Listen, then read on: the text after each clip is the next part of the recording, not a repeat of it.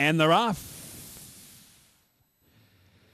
And labeled from the far outside with Tears of Jupiter, Pretty Squall at El Special.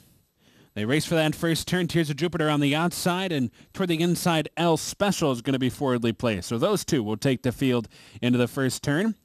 Pretty Squall's way running in third. Labeled on the outside is now fourth. Category seven, fifth and down inside. Saving ground around that first turn, two ahead of My Spanx.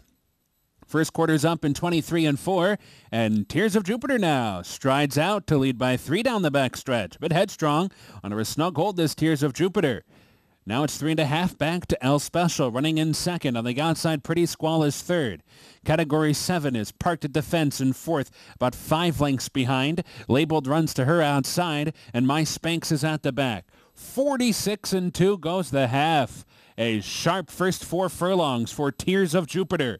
And now they're getting closer. Here's Pretty Squall.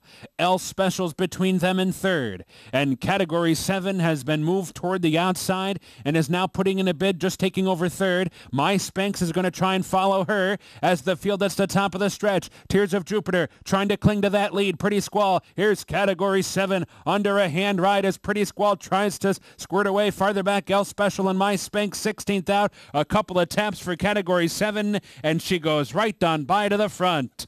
Category 7, an untroubled winner by two lengths over Pretty Squall, El Special, and My Spanx.